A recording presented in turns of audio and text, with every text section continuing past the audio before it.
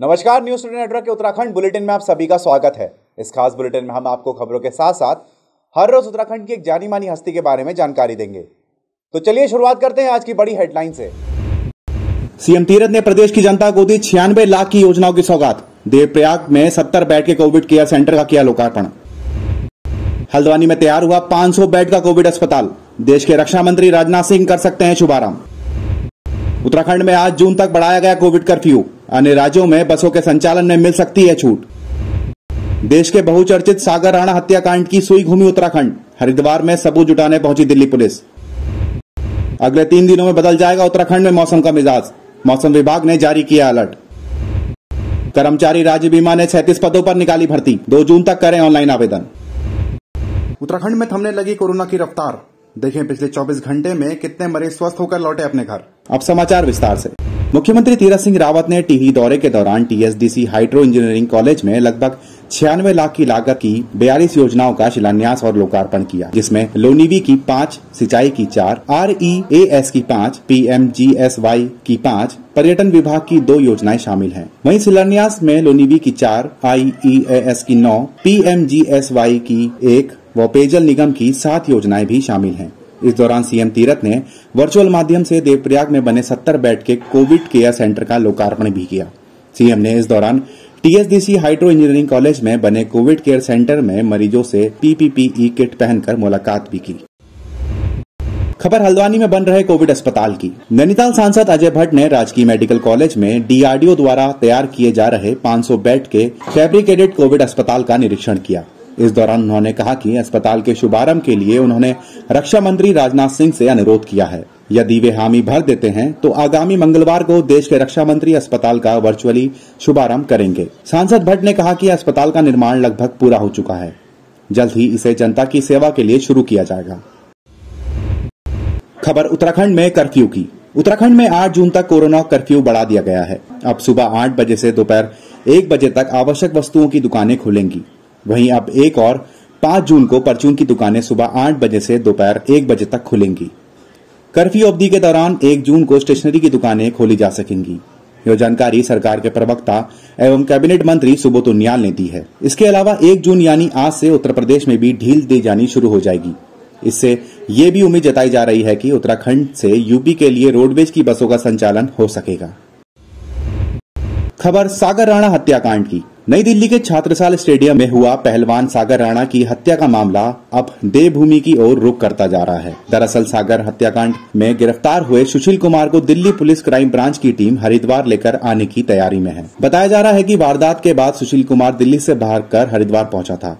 ऐसे में पुलिस को शक है कि सुशील ने अपना फ़ोन यहीं पर ठिकाने लगाया है। इसके अलावा और भी कई सबूतों की तलाश में सुशील कुमार को यहाँ लाया जा रहा है। पुलिस के मुताबिक सुशील ने यहाँ पाँच अलग अलग लोगों के फ़ोन भी इस घड़ी में इस्तेमाल किया था, जिनकी भी तलाश की जा रही है।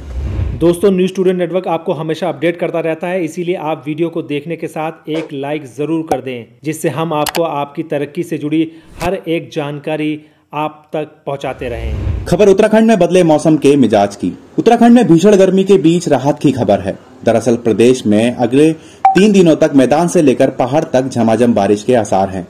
मौसम विज्ञान केंद्र के मुताबिक देहरादून, बागेश्वर, नैनीताल और पिथौरागढ़ जैसे जिलों में भारी बारिश के साथ आकाशीय बिजली गिरने की भी संभावना है। वहीं पर्वतीय क्षेत्रों में हल्की बारिश की संभावना जताई गई है। मैदानी क्षेत्रों में 30 से 40 किलोमीटर प्रति घंटे की रफ्तार से तेज हवाएँ भी चलेंगी। पहाड़ों के अधिक ऊंचाई वाले क्षेत्रों में बर्फ़ भी गिर सकती है।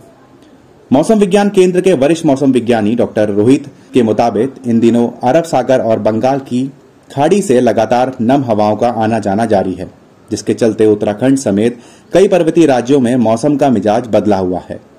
अगले तीन दिनों तक पहाड़ से लेकर मैदान तक बारिश देखने को मिलेगी, जिसका असर गर्मी पर भी पड़ेगा। खबर, कर्मचारी राज्य बीमा निगम में भर्ती की। कर्मचारी राज्य बीमा निगम ने फैकल्टी और सीनियर रेजिडेंट के सैतीस पदों पर भर्ती निकाली है। इच्छुक उम्मीदवार इस भर्ती के लिए ऑनलाइन आवेदन भी कर सकते हैं। आवेदन की अंतिम तिथि 2 जून रखी गई है। वॉक इन इंटरव्यू 3 जून को होंगे। इस भर्ती पर योग्य उम्मीदवारों का चयन इंटरव्यू में परफॉर्मेंस के आधार पर किया जाएगा।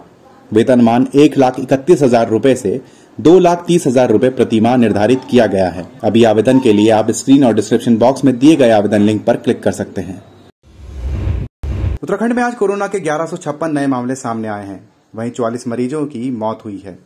आंकड़ों के मुताबिक पिछले 24 घंटों में तीन हज़ार उनतालीस मरीज़ ठीक हुए हैं, जिसके बाद प्रदेश में एक्टिव केसों की संख्या अट्ठाईस पहुँच गई है। स्वास्थ्य विभाग द्वारा जारी बुलेटिन में पिछले 24 घंटे में अल्मोड़ा में बयासी, बागेश्वर में सैंतालीस चमोली में चौसठ चंपावत में बत्तीस देहरादून में 205, हरिद्वार में 105, नैनीताल में एक सौ इकसठ पौड़ी गढ़वाल में चौरासी पिथौरागढ़ में चौहत्तर रुद्रप्रयाग में सैंतीस टीडी गढ़वाल में बयालीस उधम सिंह नगर में एक और उत्तरकाशी में पचास नए मामले सामने आए हैं। उत्तराखंडी शख्सियत में आज हम आपको बताने जा रहे हैं मंगलेश डबराल के बारे में। मंगलेश डबराल एक प्रसिद्ध समकालीन भारतीय कवि हैं जो हिंदी में लिखते हैं।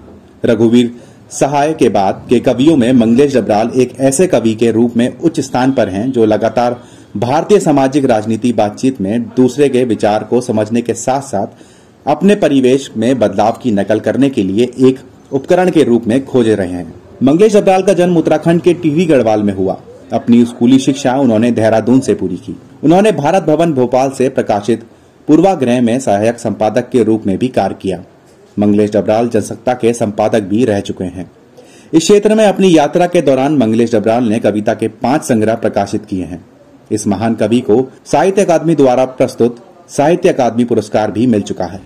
दोस्तों, हमारा यह वीडियो आपको कैसा लगा, आप हमें कमेंट बॉक्स में ज़रूर बताइएगा। अगर आप इसको यूट्यूब पर देख रहे हैं तो हमारे चैनल को सब्सक्राइब करिए। अगर आप फेसबुक पर देख रहे हैं तो हमारे चैनल को लाइक करिए और हमारे पेज को फॉलो करें। नमस्कार।